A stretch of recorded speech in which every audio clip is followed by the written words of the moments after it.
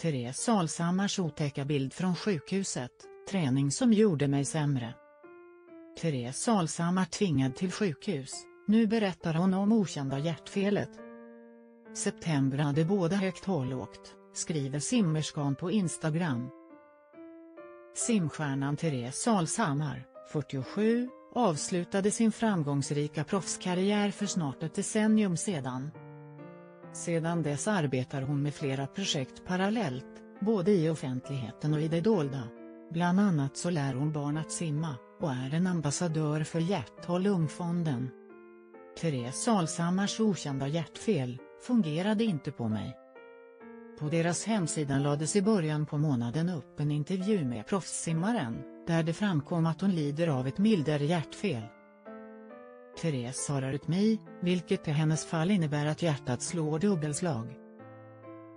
Det uppdagades när jag var liten och vi skulle ta pulsen. Så där många slag kan du inte ha, sa de, trots att jag hade räknat. Och sedan när det kom pulsband så fungerade de inte på mig, för de mätte inte. Under min aktiva karriär kändes det därför tryggt att nästan varje år kolla hjärtat genom att göra arbets-EKG, säger Therese Alshammar i intervjun med den ideella organisationen. Simmerskan på sjukhus, både högt och lågt. Under tisdagskvällen berättar Therese vidare på sin Instagram att hon hamnat på sjukhus. Det är i ett aningen kryptiskt inlägg hon sammanfattar sin september månad, där en bild på henne i en sjukhussäng med syrgastubb bara är en i mängden. September hade både högt och lågt.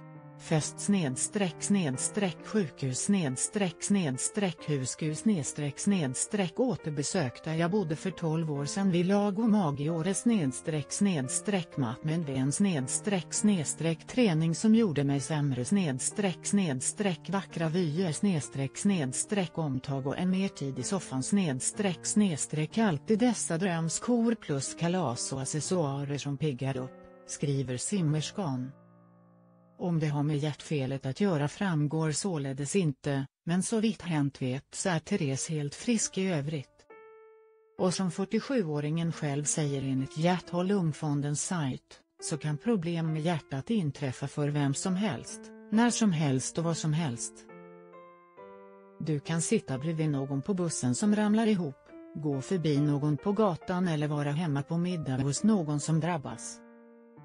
Då är det jätteviktigt att kunna hjärt-lungräddning. Det är ett ansvar som är väldigt fint att ta.